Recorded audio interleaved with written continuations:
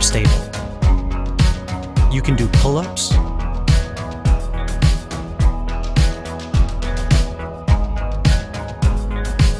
chin ups, dips,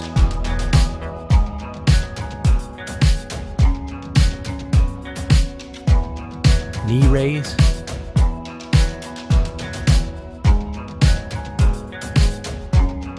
push ups.